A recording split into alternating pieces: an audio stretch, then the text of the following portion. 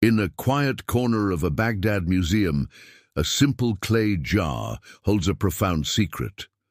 Discovered in 1936, this small artifact, just over five inches tall, might just rewrite our understanding of ancient history.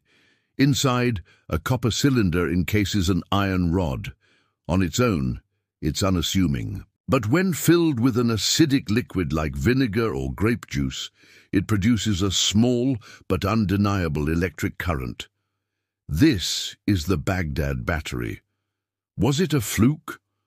Or did our ancestors, 2,000 years ago, understand the principles of electricity? Some theories suggest it was used for electroplating gold onto silver, while others whisper of ancient healing practices or religious rituals designed to inspire awe. The true purpose remains one of history's most electrifying mysteries, a quiet testament to a past far more advanced than we ever imagined. What do you think it was used for? Let me know in the comments, and don't forget to subscribe for more journeys into the unknown.